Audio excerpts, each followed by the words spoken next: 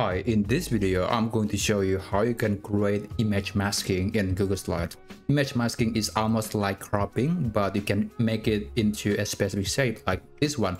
Uh, this is actually used to be a normal picture, but because I apply a masking for this image, now I can have this nice arrow sign, which looks a lot more attractive compared to just a square or rectangular picture.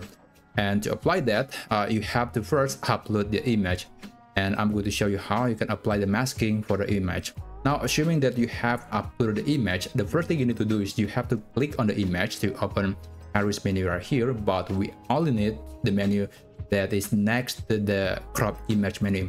Don't click that, we just need to click this option that says mask image. And then you can select many shapes that is available in Google Slides. So let's say I want to try something different. I want to try this X sign and there you go.